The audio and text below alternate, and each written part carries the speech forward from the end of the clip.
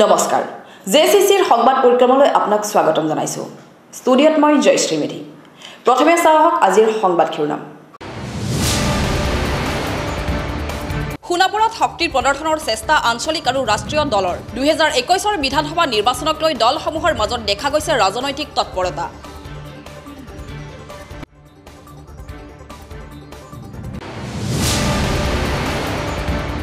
নতুন পেঞ্চন নীতি বাতিলৰ দাবীত প্ৰতিবাদ। এন পি এছৰ অন্তৰ্ভুক্ত শিক্ষক কৰ্মচাৰীয়ে কৰ্মবিৰতিৰে কৰিলে এই প্ৰতিবাদ।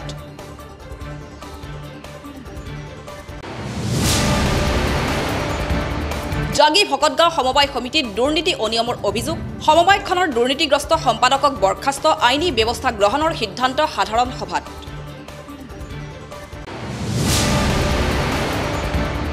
জাগিৰোডত আছুৰ বিক্ষোভ প্ৰদৰ্শন। অত্যাৱশ্যকীয় সামগ্ৰীৰ মূল্য বৃদ্ধিৰ বিৰুদ্ধে আছুৰ এই প্ৰতিবাদ।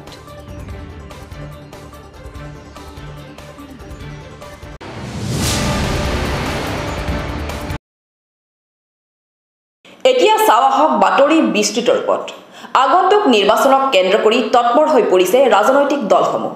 আঞ্চলিক কিম্বা ৰাষ্ট্ৰীয় দলসমূহে নিজ নিজ কাৰ্যসূচী হাতত লৈ সাজু হৈছে দুহেজাৰ একৈছৰ নিৰ্বাচনৰ বাবে। অসম জাতীয় পৰিষদ বিজেপি আদি দলসমূহে সোণাপুৰত কেনে কাৰ্যসূচী গ্ৰহণ কৰিছে চাওঁ আহক।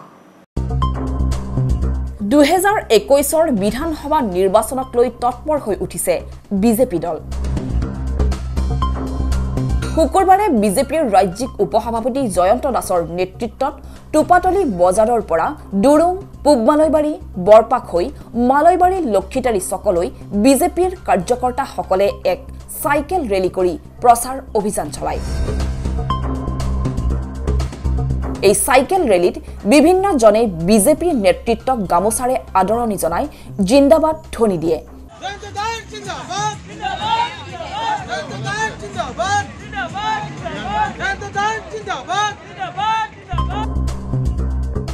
চাইকেল ৰেলীত জয়ন্ত দাসৰ লগতে বিজেপিৰ বহুতো কৰ্মীয়ে সহযোগিতা আগবঢ়ায়। আমাৰ চাইকেল ৰেলীটো আজি টপাতলি বজাৰৰ পৰা ডিকচাক হৈ বামফৰ হৈ ডুৰুং হৈ ঐজাৰী কৈকাৰী তাৰপিছত পূব মালৈবাৰী হৈ বৰপাক হৈ আজি ইয়াতে লক্ষিতাৰীত শেষ কৰিম। এই গোটেইখিনি হিচাপ কৰিছোঁ চল্লিছ কিলোমিটাৰৰ ওপৰত। গাঁৱে গাঁৱে একদম সোমাই আহিছোঁ চুবুৰে চুবুৰে সোমাই আহিছোঁ। আৰু আগন্তুক যি নিৰ্বাচন আছে মাত্ৰ আৰু পঞ্চল্লিছ দিনো নাই তিয়াল্লিছ দিনমান আছে। আৰু এই দিছপুৰটো এইবাৰ আমাৰ বিজেপিৰ দখলত থাকিব। মানে ৰাইজে ৰাস্তাত ওলাই ওলাই ৰৈ মোক যিটো মানে উৎসাহ দিছে যিটো সন্মান দিছে যিটো মৰম দিছে মই যথেষ্ট উৎসাহী। আৰু টিকেট প্ৰদান কৰিলে বহু ভোটৰ ব্যৱধানত জয়ী হোৱাটো নিশ্চিত।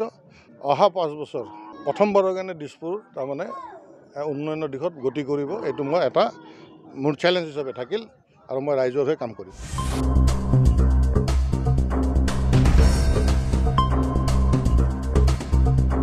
ৰাজনৈতিক দলসমূহৰ মাজত আৰম্ভ হৈছে নিৰ্বাচনী ব্যস্ততা। পিছ পৰি ৰোৱা নাই অসম জাতীয় পৰিষদো। এই নিৰ্বাচনী প্ৰচাৰৰ অংশ হিচাপে দেওবাৰে দিছপুৰ সমষ্টিৰ সীমামূৰীয়া অঞ্চল টোপাতলিৰ ৰংগমঞ্চত অসম জাতীয় পৰিষদৰ এক যোগদান কাৰ্যসূচী অনুষ্ঠিত হয়। দিছপুৰ সমষ্টিৰ পৰা অসম জাতীয় পৰিষদৰ টিকট প্ৰত্যাশী বিদ্যুৎ বৰাৰ নেতৃত্বত সহস্ৰাধিক লোকে বিভিন্ন দলৰ পৰা আহি আনুষ্ঠানিকভাৱে এ জে পিত যোগদান কৰে। এই যোগদান কাৰ্যসূচীত প্ৰাক্তন মন্ত্ৰী বুবুল দাসসহ দলটোৰ কেইবাগৰাকীও কেন্দ্ৰীয় নেতৃত্ব উপস্থিত থাকে। আজি এই শুভ দিনত অসম জাতীয় পৰিষদ লুৰিণজ্যোতি গগৈৰ নেতৃত্বত যিটো আজি সপোনটো বাস্তৱ ৰূপেৰে হৈ গৈছে অসমৰ যিটো অসমৰ জলাঞ্জলি দিলে বিজেপি গভৰ্ণমেণ্ট কংগ্ৰেছ গভৰ্ণমেণ্টে আগৰ বি- বিগত কালত আজি তেওঁৰ দিনত নতুন দিশৰ সূচনা হ'ব গৈছে। আজি মই মুক্ত মনেৰে ৰাইজৰ লগত আজি জইন কৰিছোঁ। আৰু আগন্তুক আমাৰ যিখিনি যুদ্ধ আৰম্ভ হ'ব অসমৰ ৰাইজক লৈ সেইখিনি আমি অনাগত দিনত আগুৱাই লৈ যাম। প্ৰস্তুতি হৈছে ৰাইজে এইবাৰ মাৰ বান্ধি আছে আমি যিমানখিনি আমি কৰিব পৰা নাই সাংগঠনিকটো আমাৰ এতিয়া খুটি খুব এতিয়া টনকিয়াল হোৱা নাই।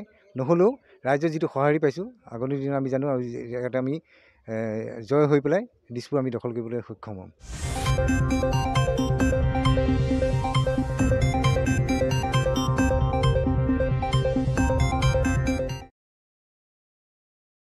অসমলৈ প্ৰধানমন্ত্ৰী আগমনৰ বিৰোধিতাৰে সোমবাৰে মৰিগাঁৱত আছুৰ প্ৰতিবাদ। একেদৰে অত্যাৱশ্যকীয় সামগ্ৰীৰ মূল্য বৃদ্ধিৰ বিৰুদ্ধে জাগিৰোডতো আছুৱে কৰিলে প্ৰতিবাদ। অসম চৰকাৰৰ ব্যৰ্থতাৰ বিৰুদ্ধে শনিবাৰে বিক্ষোভ কাৰ্যসূচীৰে এই প্ৰতিবাদ সাব্যস্ত কৰে আছুৰ সদস্যসকলে। প্ৰধানমন্ত্ৰী নৰেন্দ্ৰ মোদীৰ আগমনৰ সময়তে সোমবাৰে মৰিগাঁৱত আছুৰ বিক্ষোভ প্ৰদৰ্শন। সদৌ অসম ছাত্ৰ সন্থাৰ আহ্বানত কেইবাটাও দাবীৰ সমৰ্থনত মৰিগাঁও আছুৰ সদস্যসকলে ৰাজপথত বিক্ষোভ কাৰ্যসূচী ৰূপায়ণ কৰে।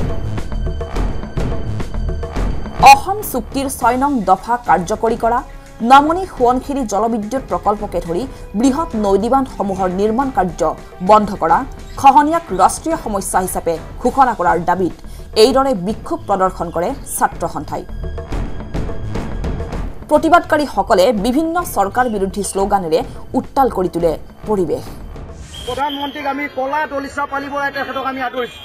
আজি সমান দক্ষিণে ৰঙা দলিচা পাৰিছে আৰু অসমৰ জনগণে প্ৰধানমন্ত্ৰীক কলা দলিচা পাৰি আজি আদৰণি জনাইছে। আটাইতকৈ দুৰ্ভাগ্যজনক বিষয় নিৰ্বাচনৰ আগত তেখেতে কি কৈছিল? যে বাংলাদেশে তালি টোপোলা বান্ধিব লাগিব। নিৰ্বাচনৰ আগত বাংলাদেশে তালি টোপোলা বান্ধিব লাগিব বুলি কৈছিল।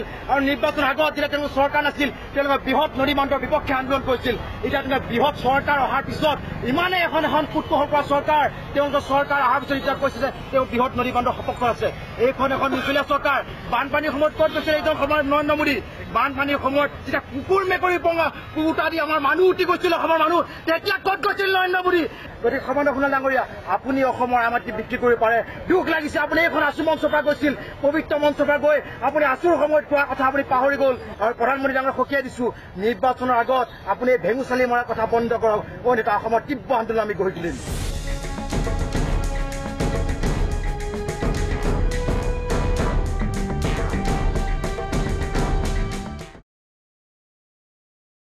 সীতাজখলা দুগ্ধ উৎপাদক সমবায় সমিতিৰ উদ্যোগত মহিলা সমাৱেশ।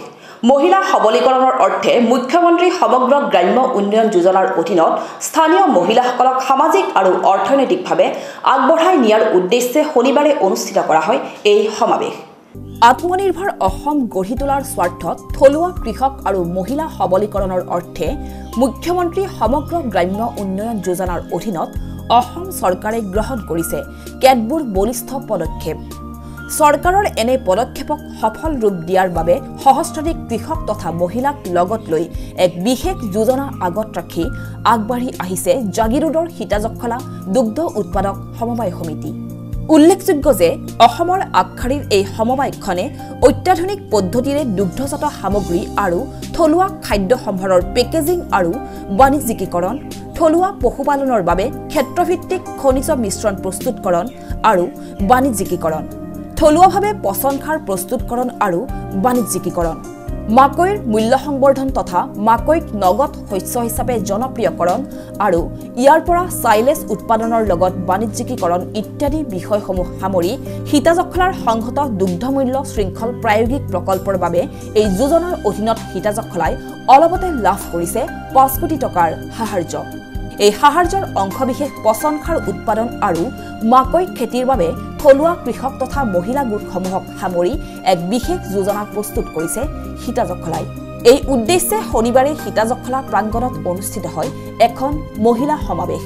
সমাৱেশত গোভা দেওশাল নেলি জাগিৰোড বাঘজাপ আদি গাঁও পঞ্চায়তসমূহৰ কেইবা শতাধিক উদ্যোগী মহিলাই অংশগ্ৰহণ কৰে। কৃষি আৰু কৃষি যোজনাৰ মাধ্যমেৰে মহিলাসকলৰ অৰ্থনৈতিক আৰু সামাজিক ভেটি অধিক শক্তিশালী কৰাৰ উদ্দেশ্য আগত ৰাখি অনুষ্ঠিত কৰা এই সমাৱেশত মুখ্যমন্ত্ৰী সমগ্ৰ গ্ৰাম্য উন্নয়ন যোজনা তথা ইয়াৰ লগত সম্পৃক্ত সমূহ বিষয়ত বিশদ ব্যাখ্যাৰে উপস্থিত মহিলাসকলক অৱগত কৰে সীতাজখলা দুগ্ধ উৎপাদক সমবায় সমিতিৰ অধ্যক্ষ ৰঞ্জীৱ শৰ্মাই।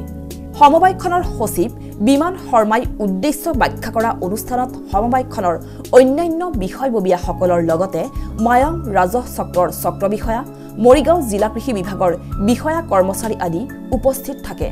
উল্লেখযোগ্য যে উক্ত যোজনাৰ অধীনত কমেও এহেজাৰ বিঘা মাটিত মাকৈ খেতিৰ বাবে এহেজাৰ কৃষক তথা মহিলাক উপকৃত কৰিব পৰাকৈ প্ৰায় ষাঠি লাখ টকাৰ এক প্ৰায়োগিক প্ৰকল্প হাতত লৈছে সীতাজখলা কৰ্তৃপক্ষই।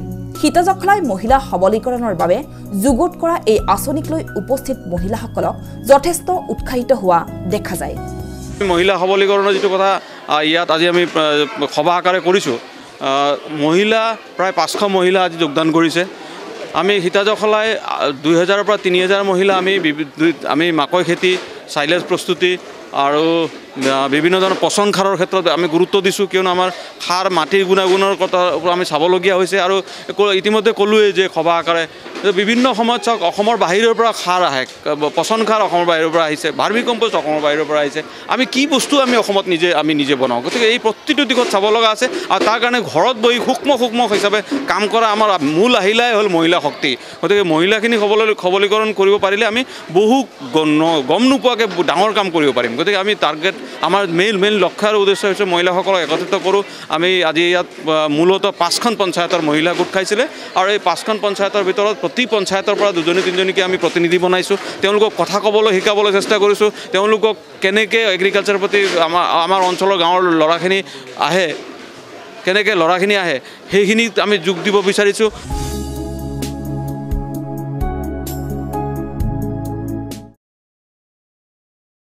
মৰিগাঁও জিলাৰ জাগিভাকত গাঁও সমবায় সমিতিত সীমাহীন দুৰ্নীতি অনিয়ম সংঘটিত হোৱা তথ্য শেহতীয়াকৈ পোহৰলৈ আহিছে।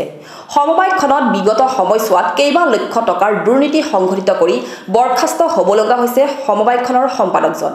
এই লৈ দুৰ্নীতিগ্ৰস্ত সম্পাদকজনৰ বিৰুদ্ধে জাঙুৰ খাই উঠিছে সমবায়খনৰ সভাপতি সদস্যসকলৰ লগতে অংশীদাৰসকল। দেওবাৰে জাগিভকত গাঁও সমবায় সমিতিৰ দুহেজাৰ বিছ একৈছ বৰ্ষৰ এখন বাৰ্ষিক সাধাৰণ সভা অনুষ্ঠিত হয়। সমবায়খনৰ সভাপতি ৰাজীৱ মেধিৰ পৌৰোহিত্যত অনুষ্ঠিত সভাখনত মৰিগাঁও জিলাৰ সমবায় বিভাগৰ সংশ্লিষ্ট বিষয়া বিনীতা কাকতি পৰ্যবেক্ষক হিচাপে উপস্থিত থাকে। তিনি শতাধিক অংশীদাৰ উপস্থিত থকা সভাখনত সম্পাদকৰ বিৰুদ্ধে উত্থাপিত অভিযোগৰ ভিত্তিত সাধাৰণ সভাই সম্পাদক ৰাতুল ডেকাৰ বিৰুদ্ধে আইনী ব্যৱস্থা গ্ৰহণৰো সিদ্ধান্ত গ্ৰহণ কৰে। সভাত বহুকেইজন বক্তাই সমবায়খনৰ বিভিন্ন কাম কাজ উন্নয়ন পৰৱৰ্তী কাৰ্যপন্থা সমবায়খনত সংঘটিত অনিয়ম আদি সন্দৰ্ভত মতামত আগবঢ়ায়। অভিযোগ মতে যোৱা নৱেম্বৰ মাহতে বৰ্খাস্ত হোৱা সম্পাদক ৰাতুল ডেকাই লকডাউনৰ সময়ত সমবায়খনলৈ আবণ্টিত চাউল আটা কেৰাচিন তেলৰ নামত সংঘটিত কৰে। ব্যাপক দুৰ্নীতি। প্ৰাপ্ত তথ্যমতে সম্পাদকজনে যোৱা জুলাই মাহত প্ৰায় ছাব্বিছ কুইণ্টল আটা সৰলুকি কৰাৰ লগতে বিভিন্ন শিতানৰ প্ৰায় এক লাখ পঁচাশী হাজাৰ নশ একত্ৰিছ টকা আত্মসাত কৰে বুলি অভিযোগ উত্থাপিত হৈছে। আমাৰ সমবায়খনৰ যিজন সম্পাদক ডাঙৰীয়া ৰাতুল ডেকা প্ৰাক্ত- প্ৰাক্তন সম্পাদক তেখেত? ৰাতুল ডেকা তেখেতে প্ৰথম আমাৰ এই কমিটিখন অহাৰ সময়ত তেখেতে এটা কাম কৰিছিলে যে কিছুমান এজেণ্টক ৰিচিপ্ট কাটি দিছিলে যে দুই নম্বৰ চাউল যিটো এলটমেণ্ট চৰকাৰী এলটমেণ্ট সেই এলটমেণ্টটোৰ মতে চাউল নিদি পেলাই কেই- কেইজনমান এজেণ্ট এজেণ্টক তাৰমানে চাউল বেছিকৈ দিছিলে। সেইবিলাক কাম কৰিছিলে সেই প্ৰুফসমূহ তাত আছে। লগতে আপোনাৰ তেখেতে কি কৰিছিলে ব্লেকত তেল বেচিছিলে কমিটিখনে গম নোপোৱাকৈ মই সভাপতি হিচাপে মই সভাপতি মই গমেই নাপাওঁ। তেখেতে ব্লেকত তেল বেচিছিলে সেই তেলবিলাক এজেণ্টৰ যি ৰিচিপ্ট দিয়া যায় সেই ৰিচিপ্টত তেখেতৰ নিজৰ চাইন আছে। এজেণ্টে চাইন মাৰিব লাগে চাইনটো মাৰিছে ৰাতুল ডেকাই। একেদৰে সম্পাদকজনে কভিডৰ সময়ছোৱাত নগাঁও এফ চি আইৰ পৰা চাউল আটা আদি অনাৰ ক্ষেত্ৰত অতিৰিক্ত যাতায়াতী খৰচৰ নামত প্ৰায় এক লাখ আশী হাজাৰ টকা আত্মসাত কৰে বুলি তথ্য পোৱা গৈছে। ৰাইজৰ ধন লুণ্ঠন কৰা দুৰ্নীতিগ্ৰস্ত সম্পাদকগৰাকীক এনে দুৰ্নীতি অনিয়মৰ বিৰুদ্ধে বিভিন্ন সময়ত সমবায়খনৰ সভাপতি সদস্যসকলে সতৰ্ক কৰি দিছিল যদিও এই সতৰ্কতাক আওকাণ কৰি সম্পাদকজনে সভাপতি আৰু একাংশ সদস্যক মৃত্যুৰ ভাবুকি দিয়া বুলিহে অভিযোগ উঠিছে। ৰাতুল ডেকা নিজৰ মই মতেৰে যেনেকৈ অনুষ্ঠানটো চলাইছিলে যে তাত তেওঁ ইচ্ছামতে কাম কৰি গৈছিলে। কমিটিখনৰ কথা কোনোদিনে নুশুনে। কমিটিখনৰ কথা নুশুনাৰ কাৰণেই আজি মানে অনুষ্ঠানটো বহুত পিছ পৰি গ'লগৈ। বি ক্লাছৰ মানে অনুষ্ঠানটো এতিয়া চি লৈ আহিলে।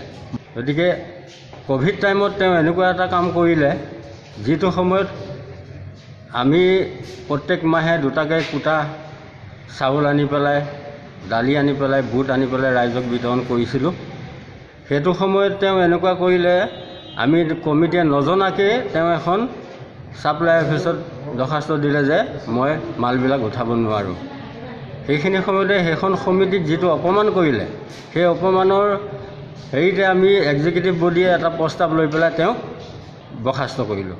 সমবায়খনৰ একাংশ এজেণ্টক দিয়া চাউল আটা কেৰাচিন তেলৰ কেছ মেমৰ খেলি মেলি ভুৱা ৰচিদ নথি পত্ৰ তৈয়াৰ কৰি ধন আত্মসাত কৰা আদি বিষয়ত আৰু সমবায়খনৰ পৰা তথ্য পাতি নোহোৱা কৰা সন্দৰ্ভত ইতিমধ্যে সম্পাদকগৰাকীৰ বিৰুদ্ধে জাগিৰোড থানাত ভাৰতীয় দণ্ডবিধি আইনৰ চাৰিশ বিছ অব্লিক চাৰিশ ছয় ধাৰাত এটা গোচৰো ৰুজু কৰা হৈছে। এয়া জাগি ভকতগাঁও সমবায় সমিতি লিমিটেডৰ এই দুই হাজাৰ বিছ একৈছ বৰ্ষৰ বাৰ্ষিক সাধাৰণ সভাখনৰ মোক মৰিগাঁও সমবায় সমিতিৰ পৰা অবজাৰ্ভাৰ নিৰীক্ষক হিচাপে পঠাইছে আৰু আজি মই নিৰীক্ষণ কৰি পেলাই সভাখন ধুনীয়াকৈ আৰম্ভ কৰিব পাৰিছোঁ। আৰু সমবায় সমিতিখনত মই যি দেখিছোঁ মানে এই বছৰত লাভ লোকচানৰ সিদ্ধান্তত মানে বহুতখিনি মানে তলফালে গৈছে সমবায় সমিতিখন। এছ এছ এখন অঁ এছ এছ এখন মানে লাখ টকাত থাকিব লাগে লাভ কিন্তু তেওঁলোকৰ এইবাৰ চৈধ্য হাজাৰ টকাহে আছে। সেইকাৰণে মানে মই তেওঁলোকক অনুৰোধ কৰিছোঁ যাতে মানে অহা নেক্সট বছৰৰ পৰা তেওঁলোকৰ উন্নতি অলপ মানে ঊৰ্ধ্বগামী হয়। ইফালে সমবায়খনে ৰাষ্ট্ৰীয় খাদ্য সুৰক্ষা আঁচনি আৰু মধ্যাহ্ন ভোজনৰ নামত ছাপন্ন লাখ বাষষ্ঠি হাজাৰ চাৰিশ পঁচানব্বৈ টকা চৰকাৰৰ পৰা যাতায়াতী খৰচ পাবলৈ আছে বুলি জানিব পৰা গৈছে। চাহ বাগিচাৰ মহিলাসকলৰ মাজত এক ব্যতিক্ৰমী ৰূপত দেখা গ'ল অভিনেত্ৰী আইমী বৰুৱাক। সহস্ৰাধিক আদিবাসী মহিলাক একোখনকৈ বস্ত্ৰ দান কৰি মহিলাসকলৰ সৈতে ঝুমুৰ নাছিলে অভিনেত্ৰীগৰাকীয়ে। সোমবাৰে জাগিৰোড সমষ্টিৰ অন্তৰ্গত গোপালকৃষ্ণ চাহ বাগিচাৰ আদিবাসী মহিলাসকলৰ মাজত ব্যতিক্ৰমী ৰূপত দেখা গ'ল অভিনেত্ৰী আইমী বৰুৱাক।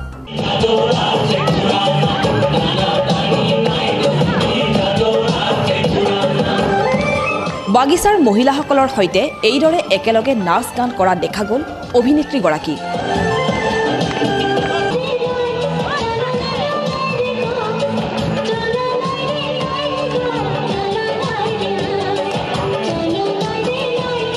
ইয়াৰ সমান্তৰালকৈ বাগিচাখনৰ দুই সহস্ৰাধিক মহিলাক ব্যক্তিগতভাৱে শাৰী বিতৰণ কৰি উৎসাহিত হৈ পৰে অভিনেত্ৰীগৰাকী।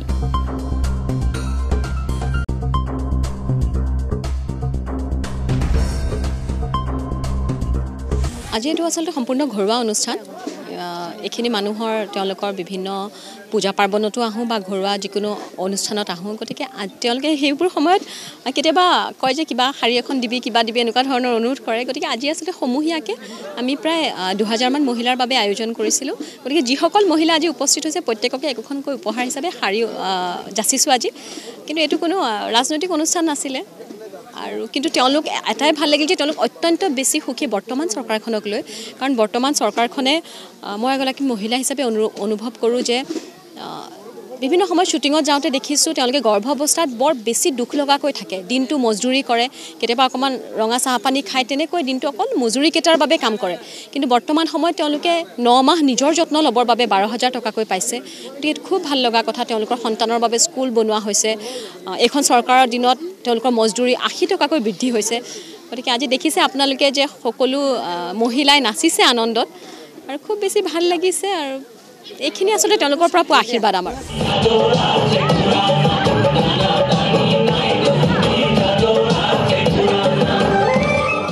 ইফালে দেওবাৰে জাগিৰোডৰ গড়কাপ্তানী বিভাগৰ ডাকবংলা প্ৰাংগণত এখন সভাৰ জৰিয়তে জাগিৰোড সমষ্টিৰ নামঘৰসমূহলৈ একোটাকৈ মাইক ছেট প্ৰদান কৰা হয়। এই অনুষ্ঠানত উপস্থিত থাকে মন্ত্ৰী পীযুষ হাজৰিকাৰ পত্নী তথা অভিনেত্ৰী আইমী বৰুৱা। অনুষ্ঠানত অভিনেত্ৰীগৰাকীৰ লগতে জাগিৰোড উন্নয়ন প্ৰাধিকৰণৰ অধ্যক্ষ দিব্যজিৎ নেওগ জাগিভকতগাঁও মণ্ডল বিজেপিৰ সভানেত্ৰী মল্লিকা বৰদলৈ জাগিৰোড মণ্ডল বিজেপিৰ সভাপতি প্ৰবীণ কুমাৰ ডেকা উপস্থিত থাকে। উল্লেখযোগ্য যে মন্ত্ৰী পীযুষ হাজৰিকাৰ ব্যক্তিগত পুঁজিৰে সমষ্টিটোৰ প্ৰায় ছশ নামঘৰত মাইক ছেট প্ৰদান কৰে বুলি জানিব পৰা গৈছে। আজি আচলতে আমি জাগিৰোড সমষ্টিত ইতিমধ্যে আমাৰ ব্যক্তিগত ফালৰ পৰা ছশ নামঘৰত মাইক ছেট প্ৰদান কৰিলোঁ। অত্যন্ত বেছি সুখী যে এই মানুহখিনিৰ বাবে কিবা অকণমান হ'লেও কৰিব পাৰিছোঁ। যোৱা সময়খিনিত কেতিয়াবা মহিলা সবলীকৰণৰ কাৰণে হাঁহৰ পোৱালি যোগান ধৰিছিলোঁ। যিমানটা পঞ্চায়ত আছে জাগিৰোড সমষ্টিত আটাইকেইটা পঞ্চায়তত সমূহ মহিলাক দিবলৈ চেষ্টা কৰিছিলোঁ। আৰু তেনেধৰণে বিভিন্ন সময়ত যুৱচামক খেলৰ প্ৰতি আকৰ্ষিত কৰিবলৈ ফুটবল খেল কেতিয়াবা পাতিছোঁ কেতিয়াবা বেলেগ কিবা ধৰণৰ খেল পাতিছোঁ। গতিকে ৰাইজৰ মাজত আচলতে তেনেধৰণৰ সজাগতাৰ লগতে যিখিনি আমাৰ পৰিয়ালৰ পৰা ব্যক্তিগত সহায় হ'ব পাৰে সেইখিনি কৰিবলৈ চেষ্টা কৰিছোঁ আৰু সদায় মানুহখিনিৰ লগত আছোঁ তেওঁলোকৰ আশীৰ্বাদৰ বাবে আমি আজি য'ত আছোঁ তাত থাকিবলৈ সক্ষম হৈছোঁ। গতিকে এই মানুহখিনিৰ প্ৰতি সদায় শ্ৰদ্ধাশীল তেওঁলোকৰ আশীৰ্বাদ সদায় বিচাৰোঁ আৰু সেইবাবে আজিও আহি উপস্থিত হৈছোঁ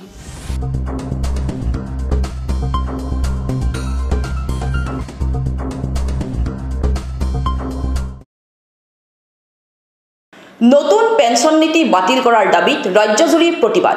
সদ অসম এন পি এছ কৰ্মচাৰী সন্থাৰ আহ্বান মৰ্মে জাগিৰোডতো মঙলবাৰে কৰ্মবিৰতি পালন কৰে এন পি এছৰ অন্তৰ্ভুক্ত শিক্ষক কৰ্মচাৰীসকলে।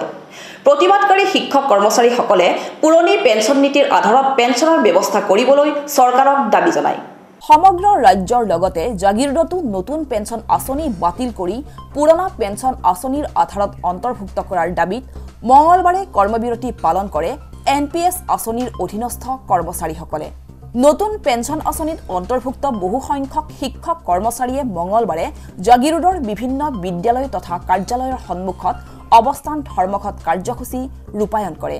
ফলত বিভিন্ন বিদ্যালয় তথা কাৰ্যালয়ৰ কাম কাজ অচল হৈ পৰে।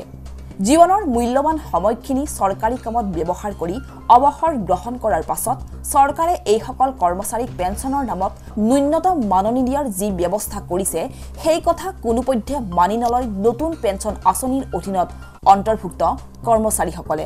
চৰকাৰে তেওঁলোকৰ দাবী মানি নললে অনাগত দিনত ভোট বৰ্জনকে ধৰি ধাৰাবাহিকভাৱে আন আন কাৰ্যসূচী গ্ৰহণ কৰিব বুলি চৰকাৰক সকীয়াই দিয়ে।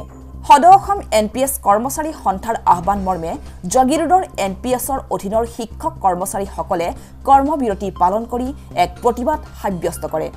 ইয়াৰ অংশস্বৰূপে জাগি উচ্চতৰ মাধ্যমিক বিদ্যালয়ত নতুন পেঞ্চন আঁচনিৰ এইসকল শিক্ষক কৰ্মচাৰীয়ে নতুন পেঞ্চন নীতি বাতিল কৰি পুৰণা পেঞ্চন নীতি বাহাল ৰাখি পেঞ্চনৰ ব্যৱস্থা কৰিবলৈ চৰকাৰৰ ওচৰত দাবী উত্থাপন কৰে। যিখিনি কৰ্মচাৰী আমাৰ অল আছামত অন্ত হেৰি মানে নিয়োগ হৈছিলে দুহেজাৰ পাঁচ চনৰ পৰা নতুন পেঞ্চন আঁচনিত নিয়োগ হৈছে। আৰু এতিয়া প্ৰায় হেৰি দুহেজাৰ সোতৰ চনৰ পৰা অৱসৰ গ্ৰহণ কৰিবলৈ আৰম্ভ কৰিছে।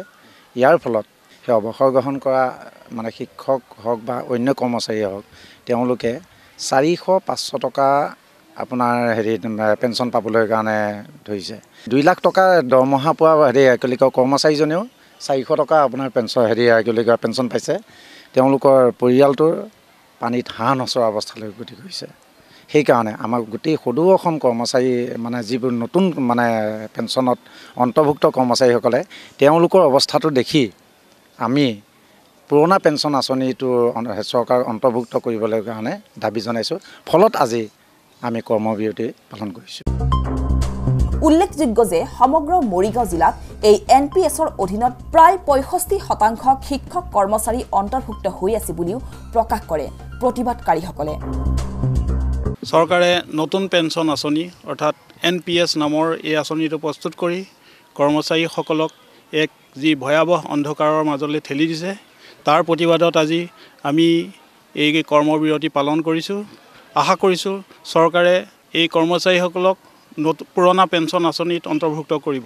আমাৰ মৰিগাঁও জিলাতো প্ৰায় ছিক্সটি পাৰ্চেণ্ট কৰ্মচাৰী আছে এই এন পি এছৰ অধীনত।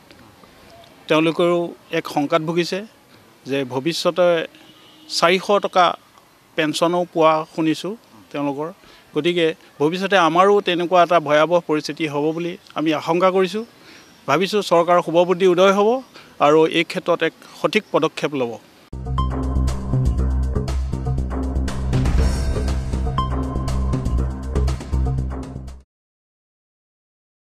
এতিয়া চাওঁ আহক সংক্ষিপ্ত ৰূপত কেইটামান বা বাতৰি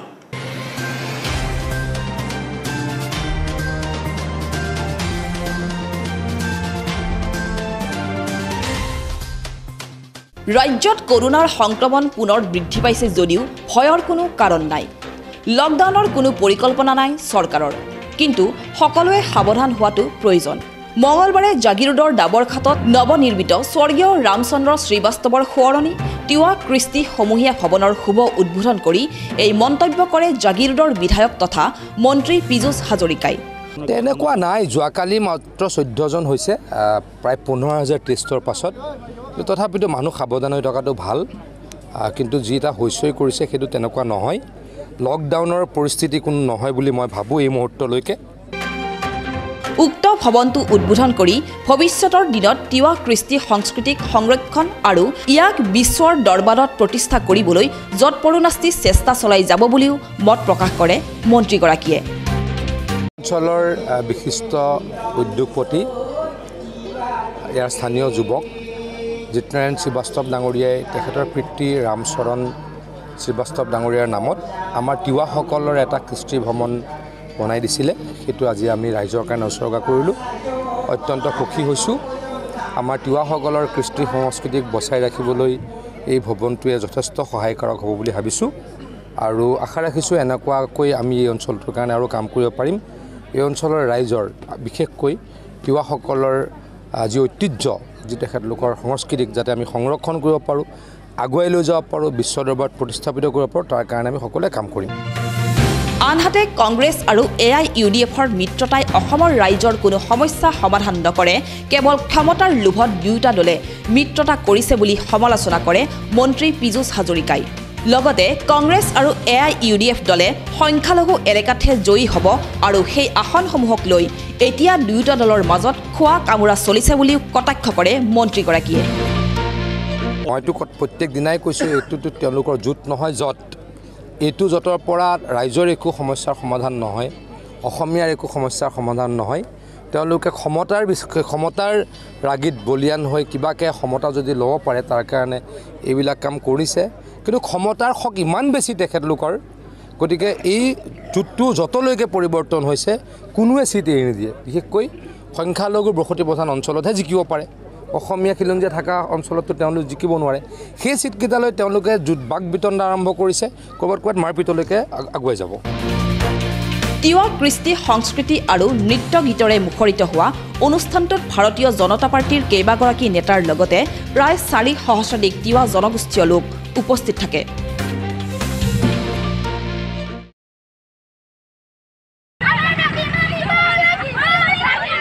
মৰিগাঁৱত স্কুটি পোৱাৰ পৰা বঞ্চিত ছাত্ৰীৰ উত্তাল প্ৰতিবাদ। বিজেপি চৰকাৰৰ বিৰুদ্ধে মুদ্ৰাবাদ ধ্বনি দি এই প্ৰতিবাদ মৰিগাঁও কলেজৰ একাংশ ছাত্ৰীৰ।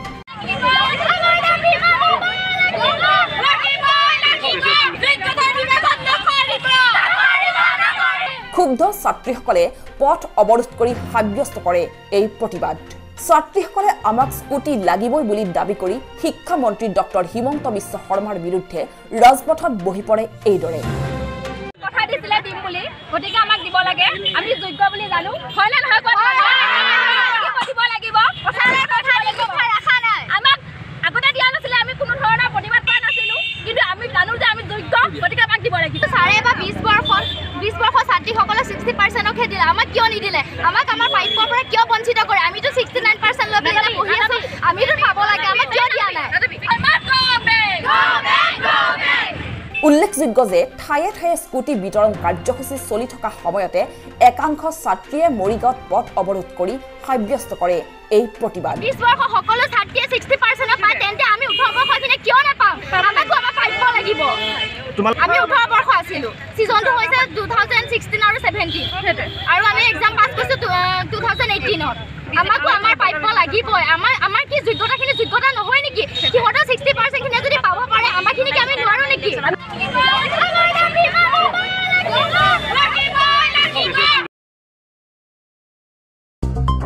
মৰিগাঁৱৰ দণ্ডুৱাত বিজেপিৰ কাৰ্যালয় মুকলি।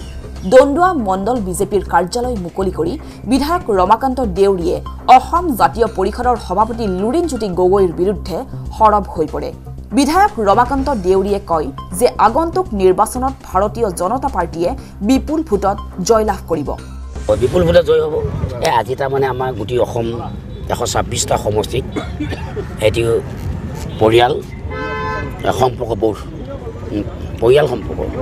এই ঘৰে ঘৰে গৈ পৰিয়ালসকলক আমাৰ ভাৰতীয় জনতা পাৰ্টীয়ে দলৰ মিত্ৰজোঁট দল পাঁচ বছৰত কি কি কাম কৰিলে সেই সতীয়ানবোৰক তেখেতসকলক হৈ গোহাৰি বিতৰণ কৰিব। আৰু তেখেতসকলক ক'ব পৰিয়ালক যে আপোনাৰ পৰিয়ালে কি পালে? আমি ভাৰতীয় জনতা পাৰ্টী আৰু মিত্ৰজোঁট পাঁচ বছৰ শাসনৰ কালত আপোনালোকে কি কি পাইছে কি কি পোৱা নাই সেইবিলাক তেওঁলোকে বুজ ল'ব সুধিব পৰিয়ালত গৈ গৈ। সেই আজি সেইটো হ'ল পৰিয়াল বা ভোট অভিযান।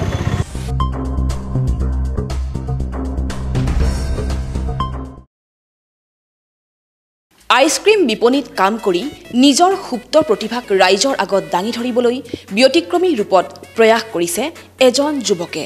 ৰাজেশ নামৰ ধেমাজিৰ এই যুৱকজনে শেহতীয়াকৈ শ্ৰোতা দৰ্শকৰ মাজলৈ উলিয়াই দিছে এটি সুন্দৰ আধুনিক গীত। প্ৰতিভা সম্পন্ন যুৱকজনে নিজেই গীত ৰচনা কৰি নিজেই গাইছে।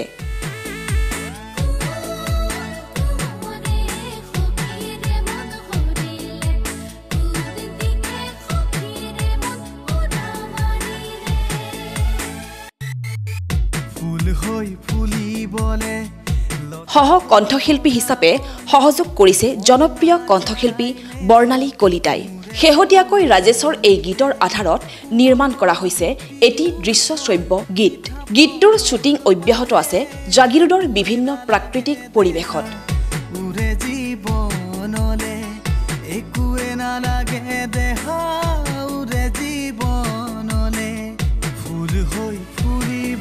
গীতটোৰ মূল অংশত অভিনয় কৰিছে জনপ্ৰিয় অভিনেতা ৰবি শৰ্মাই।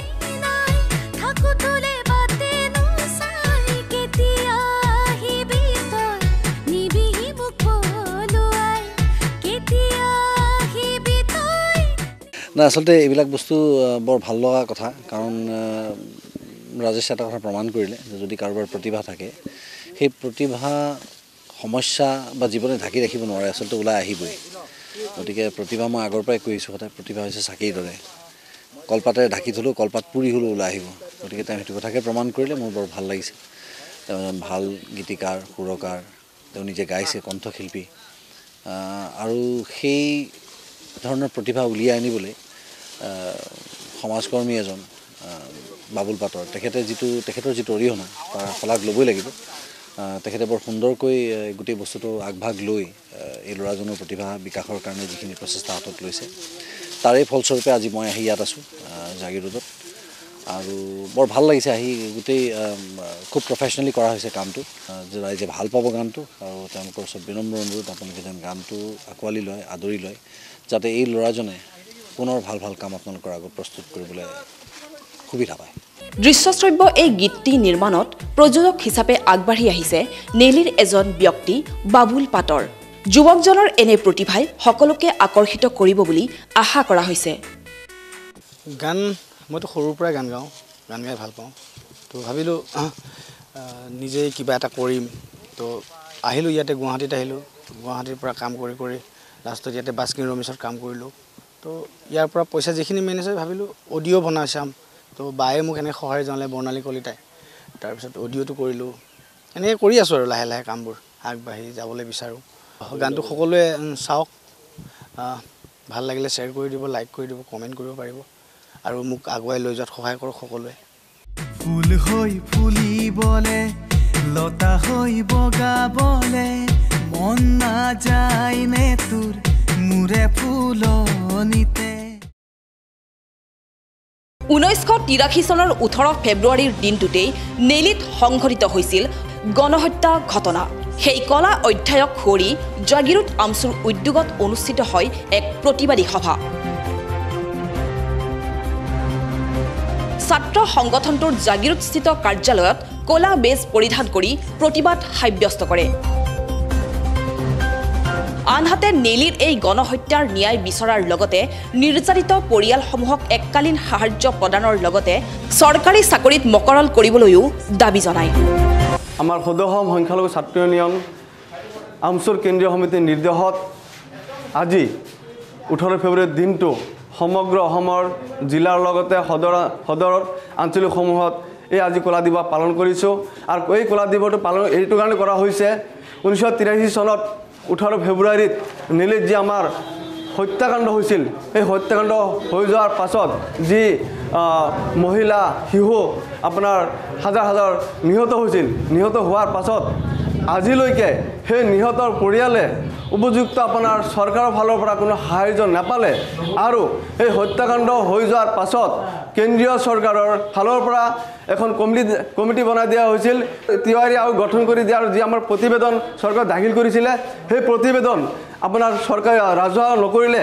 গতিকে আপোনাৰ আমাৰ নেলি অঞ্চলৰ ৰাইজে কোনো ধৰণৰ উপযুক্ত সাহাৰ্য নাপালে। গতিকে আমি প্ৰত্যেক বছৰৰ দৰে এইবাৰো আমাৰ জাগিৰা আঞ্চলিক সংখ্যালঘু ছাত্ৰ ইউনিয়ন আমচুৱে কলা দিৱসৰ লগত সংগতি ৰাখি কলা বেজ পৰিধান আৰু প্ৰতিবাদী সভা আয়োজন কৰিছিলোঁ।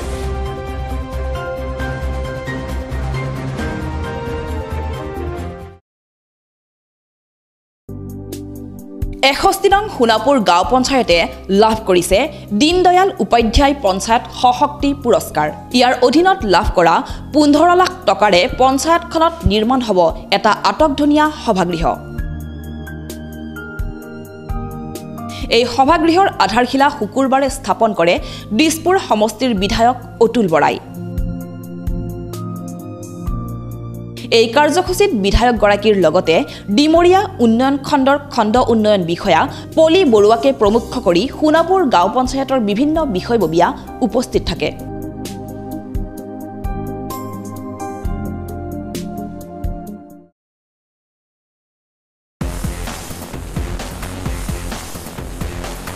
মৰিগাঁও গেৰাখোৱা যুৱক সংঘৰ উদ্যোগত দেওবাৰে অনুষ্ঠিত হয় সদৌ অসম ভিত্তিত আমন্ত্ৰণমূলক এদিনীয়া ভলীবল প্ৰতিযোগিতা। প্ৰতিযোগিতাখন উদ্বোধন কৰে মৰিগাঁৱৰ বিধায়ক ৰমাকান্ত দেউৰীয়ে।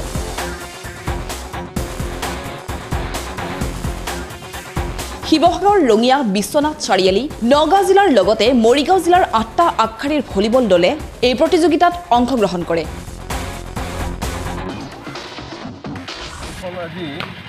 ছেভেণ্টি এইটৰ পৰা আমাৰ মানে চলি আছে আমাৰ এই- প্ৰক্ৰিয়াটো আৰু ইয়াৰ মানে আমি আমাৰ গাঁওখনৰ নাম হৈছে ডেৰাখোৱা ঠিক আছিলোঁ আজি প্ৰায় দহ পোন্ধৰ বছৰমানৰ পৰা আমি এই ধৰণে আজি পতাৰ ধৰণে আমি পাতিবলৈ সক্ষম হৈছোঁ আৰু আমি আশা ৰাখিছোঁ যে আগন্তুক দিনবিলাকত আমি এনেকৈ যাতে ৰাইজৰ সহায় সহযোগিতাৰে আপোনালোকৰ সহায় সহযোগিতাৰে আমি খেলবিলাক পাতি যাব পাৰোঁ উদ্বোধনটো উদ্বোধনটো আমাৰ মাননীয় বিধায়ক মানে